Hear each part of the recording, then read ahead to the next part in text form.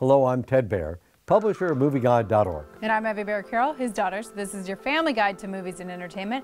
And we have a list for you guys 2018 greatest movies. And of all of the movies that we loved, we're picking out a few that may win our grand prize at the Movie Guide Awards. Can you tell us some?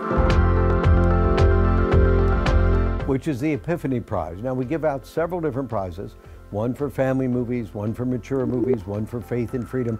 But the Epiphany Prize is for movies that help people know God and understand Him better. And there were just a flood of those movies this year, so it was very tough getting them down to five movies.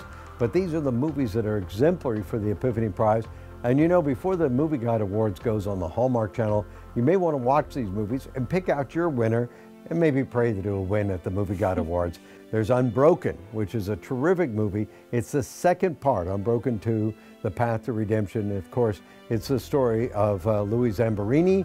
It's the rest of the story. It's about him coming to Christ and going through drunkenness. It's a very tough story, but a very good story. So that really shows a transformation. I mean, the epiphany moment that he has we don't want to tell you too much. Another movie that we really enjoyed was The Grinch. And this oh, love The Grinch. And this adorable version of The Grinch really shows that the Grinch's heart needs to grow. I mean, The Grinch has always had a great morality tale to it, but this one is adorable and the whole family will enjoy it. And it has more clear faith in it and the songs are terrific uh, and it's just great. And it's from a big studio.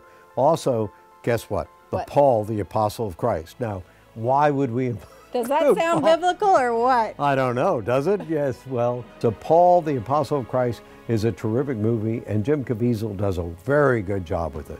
Check back at MovieGuide.org for the full list of our Epiphany Prize nominated movies that you guys will love to see with your whole family. Some of the movies you might want to check the whole review because they may not be appropriate for really little kids like Paul. I mean, that, those are heavy themes in Paul. And there are other ones out there that we've nominated, like I Can Only Imagine. Some people love that movie.